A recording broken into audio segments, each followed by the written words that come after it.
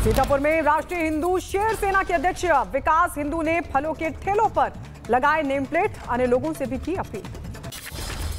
उत्तर प्रदेश के मुरादाबाद में हिंदू युवती को मुस्लिम बनने के लिए ब्रेन वॉश करने की आरोपी महिला पर मुकदमा दर्ज हुआ। हिंदू संगठन की युवतियों ने लगाया अकेडमी प्रबंधन पर आरोप। उत्तर प्रदेश के फिरोजाबाद में भीषण सड़क हादसा हुआ। खड़े ट्रक से टकराई डबल डेकर बस। हादसे में तीन की मौत, पैंतालीस से ज़्यादा यात्री जख्मी। घायलों को पहुँचाया गया अस्पताल। रात लगभग एक बजे की घटना है। बस बहराइच से आगरा जा रही थी। आगरा लखनऊ एक्सप्रेस पे। लगभग 59 किलोमीटर पे ये घटना हुई है। एक बालू से लदा हुआ ट्रक था, जिसमें बस पीछे से टकराई है। प्रीमिनरी यही आ रहा है कि शायद ड्राइवर की झपकी लगी होगी, जिस वजह से घटना हुई है। फिरोजाबाद सड़क हादसे पर सीएम योगी ने लिया संज्ञान। मृतकों के परिजनों के प्रति व्यक्त की संवेदना। घायलों के समुचित उपचार के निर्देश दिए। आनंदपाल एनकाउंटर में सीबीआई की क्लोजर रिपोर्ट खारिज। आनंदपाल का एनकाउंटर करने वाले अधिकारियों पर चलेगा मुकदमा।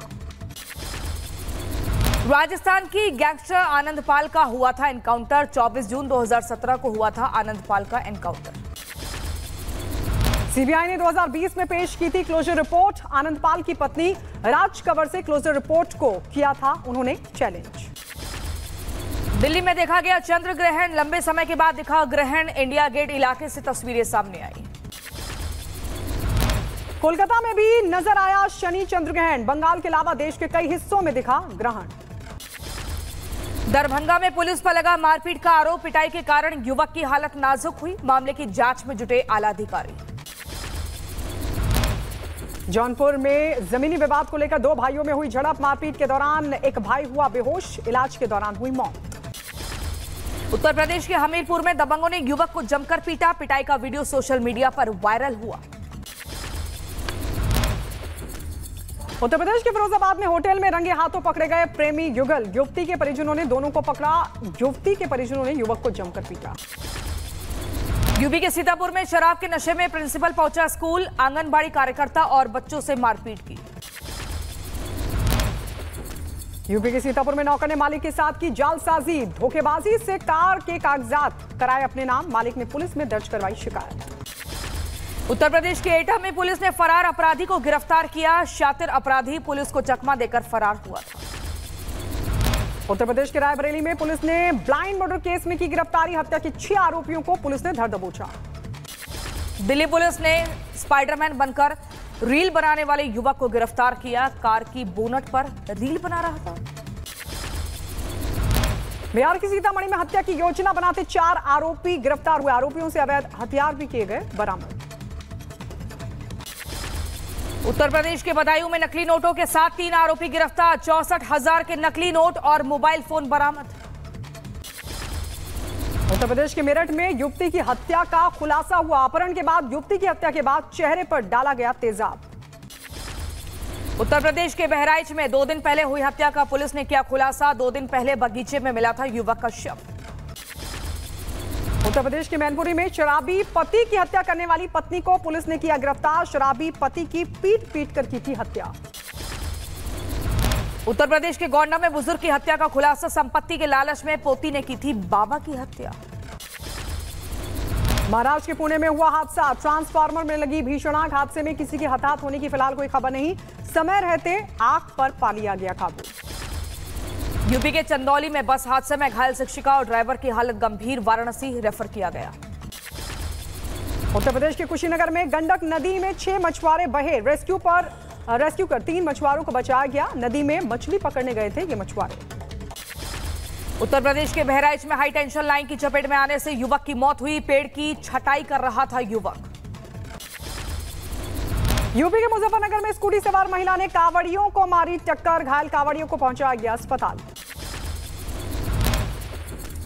उत्तराखंड के हरिद्वार में नहाते हुए युवक गंगा नदी में डूबा गोताखोरों ने युवक को बचाया।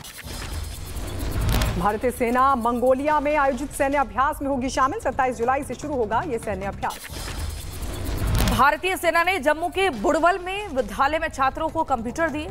किसानों के लिए जल संरक्षण और फ़सल विविधीकरण पर जागरूकता फैलाने के उद्देश्य से कंप्यूटर बांटे। अमरनाथ यात्रा के लिए तीर्थयात्रियों का एक और जत्था हुआ। रवाना श्रद्धालुओं में नज़र आया भारी उत्साह। भक्तों ने भोले बाबा के जयकारे लगाए। उत्तर प्रदेश के शाहजहांपुर में भारत पवार ने जीता गोल्ड मेडल। पावर लिफ्टिंग प्रतियोगिता में गोल्ड जीता। राजस्थान के भीलवाड़ा में एसीबी ने इंस्पेक्टर महेश पारिक का लॉकर खंगाला। एसीबी ने लॉकर से मिली ज्वेलरी की कीमत 37 लाख रुपए बताई। उत्तर प्रदेश के संभल में जिलाधिकारी ने दुकानों पर चेकिंग का निर्देश दिया। कम तो तौल मिलने पर कार्रवाई की जाएगी। सहारनपुर में कावड़ियों की सुविधा के लिए कावड़ सेवा ऐप लॉन्च। ऐप के माध्यम से कावड़ियों को मिलेगी सारी जानकारी। यूपी के गाजियाबाद में कावड़ियों के लिए लगाए गए 25 स्वास्थ्य शिविर। करीब 200 डॉक्टर तैनात किए गए। उत्तर प्रदेश के ग्रेटर नोएडा में प्रशासन की बड़ी लापरवाही। तालाब की सफ़ाई नहीं होने से घरों में घुसा गंदा पानी। उत्तर प्रदेश के मुजफ्फरनगर में भारी बारिश में मकान की छत गिरी, छत गिरने से बुज़ुर्ग महिला की मौत हुई। अमेरिका में ओरिगॉन के जंगलों में भीषण आग का तांडव देखने को मिला। तेज हवाओं की वजह से तेज़ी से बढ़ रही है आग। फायर ब्रिगेड कर रही है अपना काम।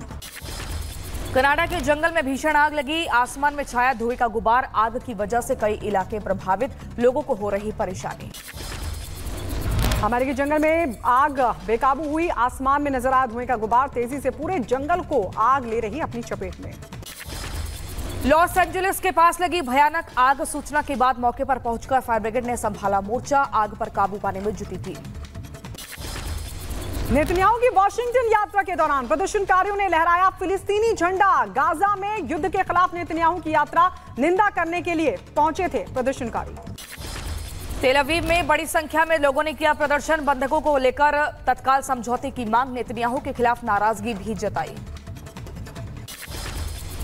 मैक्सिको में एक फैक्ट्री में हुआ भीषण विस्फोट। आग की चपेट में आने से अब तक छह लोगों की मौत की पुष्टि दो कर्मचारी भी जख्मी हुए।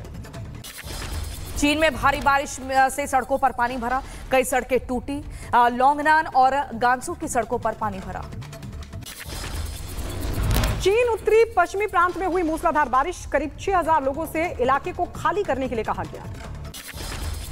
फिलीपींस की राजधानी मनीला में बाढ़ के कारण हालात हुए खराब। बाढ़ और बारिश में करीब तेरह लोगों की मौत हुई। ताइवान में टाइफून, गेमी का कहर सुरक्षा के लिए किए गए तगड़े इंतज़ाम इसराइल ने गाजा के खान यूनिस शहर पर किया मिसाइल अटैक। हमास के कई ठिकानों को तबाह किया। अमेरिकी राष्ट्रपति जो बाइडेन का राष्ट्र के नाम संबोधन बोले ये नई पीढ़ी को मशाल सौंपने का समय। कमला हैरिस को बताया सक्षम नेता और कहा कि दाव पर लगी है अमेरिका की आत्मा। इजरायल का समर्थन करने के लिए नेतन्याहू ने बाइडेन का आभार जताया। वहीं अपने संबोधन के दौरान प्रदर्शन कर रहे प्रदर्शनकारियों की निंदा भी की। इजरायली पीएम नेतन्याहू ने युद्ध के लिए मांगा समर्थन। अमेरिकी राष्ट्रपति बाइडेन की तारीफ़ की।